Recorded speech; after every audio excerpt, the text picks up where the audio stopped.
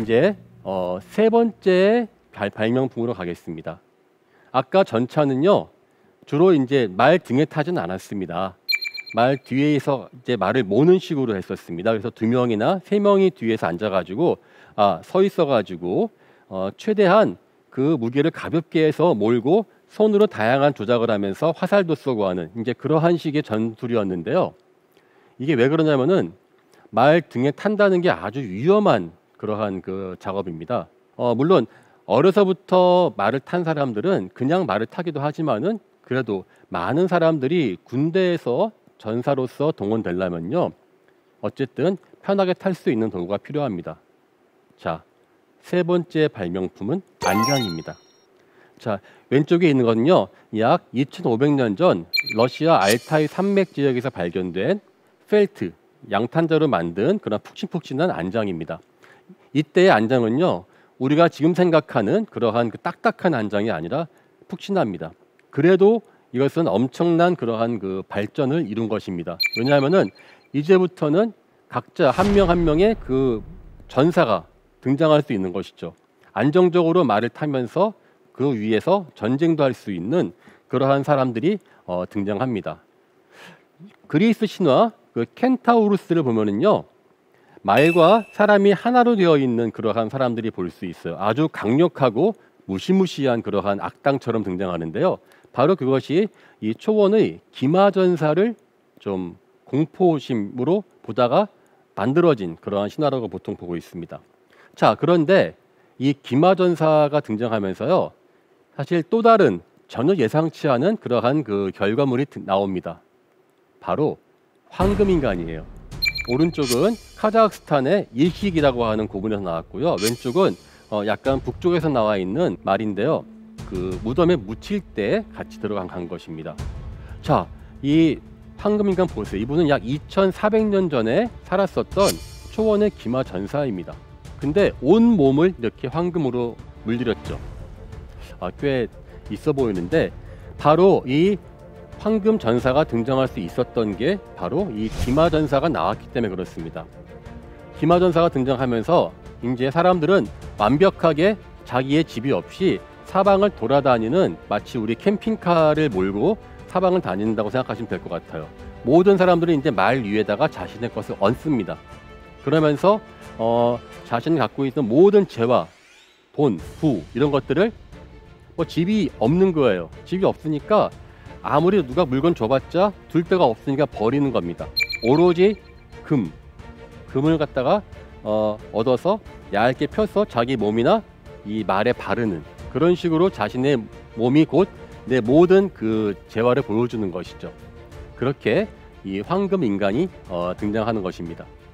자, 그런데 이 황금 인간은요 정말 드물게 등장해요. 왜냐하면은 이제까지 나와 있는 수많은 수만 개의 그러한 그 초원의 기마전사의 무덤들은요 거의 다 99.99%다 도굴되어 있습니다. 왜냐하면은 이 사람들은 어려서부터 황금을 몸에 발라가지고 그 채로 묻기 때문에 모든 도굴인들의 표적이었어요. 지금 보고 있는 이 황금 인간은요, 어, 최초로 도굴되지 않은 것입니다. 그래서 이 사람을 완벽히 복원해 본 결과 기마인들은 자신들의 모든 월급들을 몸에다 바른다. 그리고 그것이 그 사람은 죽을 때 갈 수 있는 마지막 그러한 그 재화의 상징이었다는 것입니다. 사실 생각해 보면 이렇습니다. 여러분들에게 지금 제가 이런 조건을 제시하죠. 한 뭐 돈을 100억, 50억 드린다. 기분 좋으실 것 같아요. 자, 그런데 제가 조건을 달아요. 그 대신에 당신은 평생 집이 없다. 당신은 기마전사니까 요즘 같으면 자, 차겠죠. 당신은 평생 자동차에 타고 다니면서 살아야 된다. 자, 그러면 여러분들은 그 돈 갖다 뭐 하시겠습니까? 할 수 있는 게 뭐 명품 가방을 산다, 가구 산다, 둘 집이 없잖아요. 그러면은 철저하게 자신의 몸을 바르고 그 다음에 그 자기 차를 금박을 입히겠죠. 아마 이 초원의 이러한 그 황금 인간들은 그러한 식으로 해서 이제 발달이 된 것입니다. 그래서 이게 지금 그 황금 인간의 그 몸에서 발견된 황금 유물들인데요. 엄청나게 유물이 많아 보이지만 사실상은 속을 텅 비게 한 하고 그 해서 가볍게 만들었습니다. 왜? 치장을 한다고 금이 무겁잖아요. 그러면 전쟁 나가서 이 사람이 이길 수가 없어요. 말이 그 무게를 뭐 견딜 수가 없으니까 초원에서 전쟁이라는 것이 한 뼘 차이 아니겠습니까? 한 뼘만 더 빨리 가면은 내가 이기는 건데 그 무거운 황금 때문에 이 사람들은 질 수가 있는 거예요. 그는 최소한으로 하고 어, 자신들의 몸에 있는 물건들은 아주 가볍게 했습니다. 그러니까 겉으로 보기에는 이렇게 화려했지만 그 사람들의 실제 인생은 달랐죠.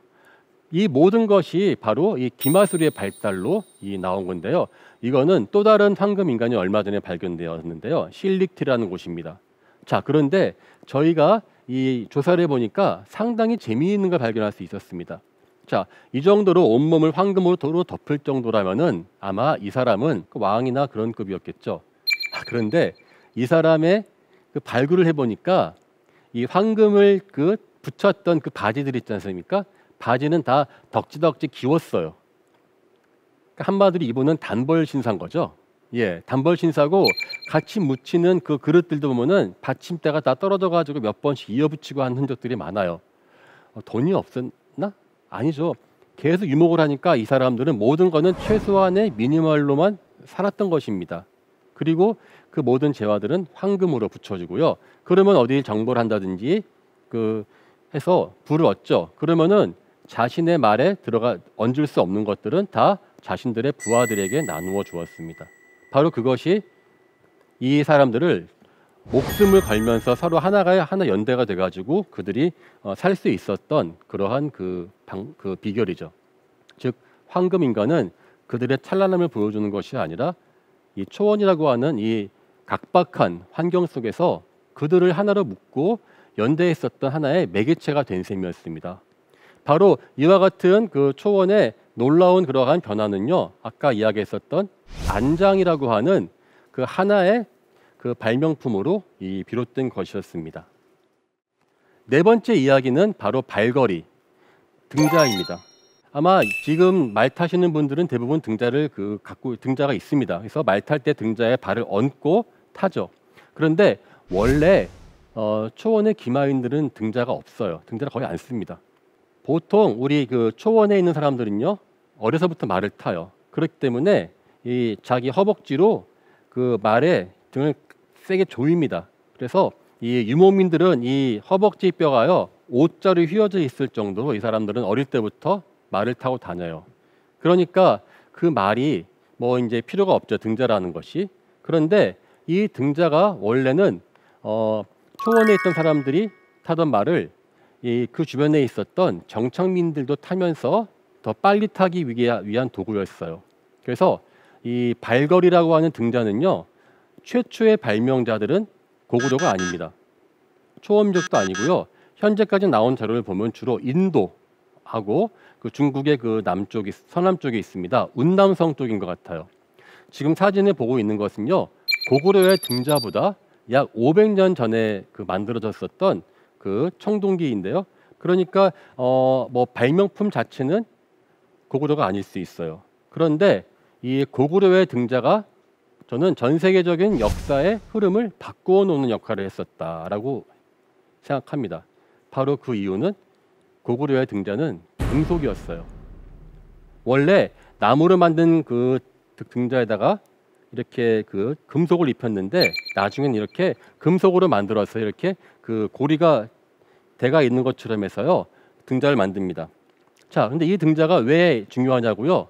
어, 사실은 이 고구려에서 등자가 등장한 이유는요 선비족들이 이때 어, 서기 4세기 때쯤에 아주 크게 발흥합니다. 선비들이야 워낙에 이제 유목이 잘 몸에 그 익은 사람들이었죠.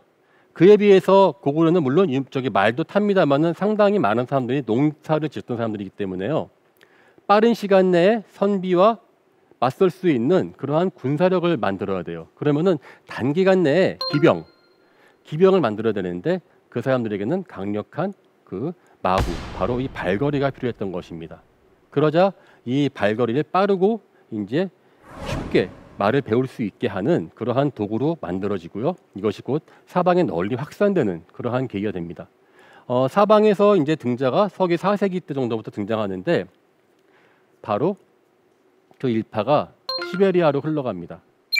저 빨간색 별표 친 곳에 있는 것이 바로 어, 극동식 동, 등자, 그러니까 극동적에 나왔으니까 또는 어, 고구려식 등자라고 이야기합니다. 이 초원에서 이렇게 등자를 만들면서 또 이 사람들은 튀르크라고 하는 그러한 제국이 발생됩니다. 그래서 어, 시베리아 같은 경우는 등자가 나오는 시기가 보통 서기 6세기 때쯤 돼요. 그리고 이 서양은 한 7세기 정도에 나옵니다. 중요한 건 무엇이냐면은 바로 고구려의 등자가 시베리아의 역사를 바꾸었다는 것이죠. 이거 이 등자는 고구려 것이 아니라 러시아 알타이에서 발견된 등자입니다. 완전히 고구려식으로 나오고 있어요. 어, 떠한 배경에서 고구려의 등자가 시베리아까지 갔을까요?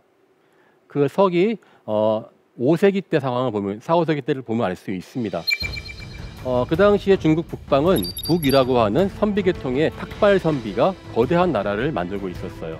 그리고 동쪽에는 고구려, 그리고 몽골과 알타이 초원 일대에는 유연이라고 하는 또 흉노 다음에 있었던 거대한 제국이 있었습니다. 그런 말 있지 않습니까? 왜 적의 적은 나의 친구다. 유연과 고구려는 어, 거대한 부귀에 맞서기 위해서 서로 연대했습니다. 그래서 유연은 고구려에게 양질의 말들을 갖다가 주었고요. 고구려는 여기에서 자신들이 갖고 있었던 갑옷이나 다양한 철제 마구들을 유연에 주었다는 기록들이 많이 나옵니다. 서로 한마디 윈윈하는 것이 윈윈. 그러면 그 유연은 그걸 어떻게 했을까요? 유연은 주로 몽골에 있었는데 알, 아까 알타이에서 나왔다고 했지 않습니까? 혹시 알타이까지 어떻게 간 거죠? 꽤 먼 거리네 말입니다. 그거는 바로 알타이에 그 당시에 살았었던 사람들이 바로 돌궐, 라는 튀르크라고 하죠. 튀르크. 현재 터키의 뭐 그 기원이기도 하고 한데요. 어, 그 당시에는 아직 돌궐은 자신의 나라가 없었고요. 유연의 밑에서 있었습니다. 그래서 이 사람들은 주로 알타이 산에 있었는데 어떠한 직업을 가지고 있었냐면은 유연이 이 사람들에게 철기를 만드는 그러한 그 일을 줍니다. 복속되어 있었으니까. 그러면서 이 유연한테 복속되어서 철기를 만들어 공급했다라고 하는 그러한 기록이 있어요. 실제로 지금 보이는 이것은 알타이에서 발견된 가장 빠른 철기로 만든 고구려식 등자와 다양한 마구입니다. 그러니까 이해가 되는 것이죠. 아마 유연은 고구려에서 받았었던 선진적인 그러한 그 말 타는 기술들, 무기와 마구를 튀르크한테 주었을 것이고요. 돌궐이죠. 그리고 그들은 그것으로서 자신들의 힘을 키운 것 같습니다. 나중에 돌궐은요, 그 아사나라고 하는 그러한 시족 단계에서 다시 자기의 힘을 키워가지고 반대로 유연을 칩니다. 유연을 치고 유라시아의 패권을 차지하죠. 바로 돌궐 제국의 등장이 여기서 나오는데요. 자, 볼까요? 그러니까 단순하게 등자 하나가 간 것이 아니었습니다. 왼쪽에 보이는 건 우리 고구려의 벽화죠. 오른쪽에 있는 건 어디일까요? 예, 이거는 어, 서부 시베리아에서 발견된 갑옷들입니다. 어, 전체 유라, 시베리아에서 가장 빠르게 나오는 곳이 바로 알타이와 서부 시베리아 일대입니다. 그들은 어디에서 왔는지는 이러한 맥락들을 보면은 쉽게 그 알 수가 있습니다. 자, 그러면 여기서 이제 어, 아까 제가 동 아까 헝가리 이야기했었지 않습니까? 그럼 헝가리까지는 어떻게 간, 가게 된 것이냐? 그거는 또 여기 증거가 있습니다. 아까 돌궐들이 이제 그 힘을 키워서 유연을 무너뜨렸다고 이야기했었습니다. 자, 그렇다면은 여기에서 멸망한 유연 세력들은 어디로 갔을까요? 그들은 어, 급하게 서쪽으로 도망갔습니다. 지금 보이는 이 유물은요, 이 서쪽으로 도망가는 유연의 세력들이 남긴 그 흔적입니다. 무기와 마구인데요. 바로 이것을 보고 헝가리의 사람들은 자신들의 선조들의 조상이 여기서 어, 나왔다라고 이야기합니다. 바로 어, 헝가리 근처에 나오는 아바르족입니다. 아바르족은 유연 세력에서부터 와서 저기 천천히 서쪽으로 이동을 합니다. 아바르란 사람들이 헝가리에서 발견될 당시에요. 맨 처음에 나왔을 때 이 사람은 들은 상당히 몽골로이드 같은 형태를 많이 띠고 있었다고 이야기해요. 그랬다가 이 점진적으로 이 서양인화 된다고 이야기하고 최근에 나와 있는 DNA도 똑같은 그러한 그 현상을 보여주고 있습니다. 자, 그렇다면 여기에서 우리는 간단한 질문이 나오죠. 유연과 아바르는 같은 사람들일까? 예. 어, 한동안 그것은 믿을 수 없다는 견해가 강했었습니다. 하지만 지금의 DNA가 나오면서부터 사정은 바뀌었죠. 유연의 일파가 아바르가 되었고 그리고 그 아바르는 서양의 중세에 여러 가지 그 기갑병들이 많 썼었던 등자 그리고 다양한 그러한 그 중갑병들의 그 마구의 기원이 되었다는 것이 밝혀진 것입니다. 어, 전체 유라시아 틀을 놓고 보면은 이와 같은 하나의 그러한 그 발명품과 그들의 그 네트워크가 이어져서 이어져서 결국은 어, 서양까지 갑니다. 그래서 우리가 잘 알고 있는 이와 같은 서양의 중세 시대의 그러한 그 중갑병들이 그 등장하는 것입니다. 그럼 어떻습니까? 왜 이렇게 유라시아는 비행기로 10시간 이상 되는 거리인데 쉽게 이동할 수 있었을까요? 저는 이제 초원이 이렇게 말이 타 있었기 때문에 가능하다 이야기합니다. 그런데 보면 전 세계적으로요 초원은 참 많이 있습니다. 예컨대 미국에도 초원이 있고요 아프리카에도 있습니다. 그런데 특히 이 유라시아의 초원은 다릅니다. 유라시아의 그 초원은요 중간에 끊김이 없어요. 끊김이 없고 만리장성 북쪽에서부터 시작해서 저 서쪽의 폴란드 근처에 있는 어, 카르파트 분지까지 거의 끊임없이 이어집니다. 그들은 어, 이허 벌판들이 순식간에 거대한 동서 문명의 하이웨이가 되었던 것이었죠. 그리고 바로 그것을 타고 선진 문명들이 때로는 서쪽에서 동쪽으로 오고 때로는 동쪽에서 서쪽으로 가는 그러한 그 놀라운 문명의 교류가 예, 시작이 되었던 것입니다. 그러니까 우리가 어, 단순하게 우리의 시야에서 설마 너무 멀지 않아? 내지는 아 그거 어떻게 가능하겠어? 예, 그러한 그 의심을 잠깐 버리고 과연 우리가 처해져 있는 이 유라시아라고 하는 환경이 어떻게 형성되었고 또 그들은 어떠한 배경에서 문화가 발전되었는가를 한번 우리가 알면 더 될 것 같습니다.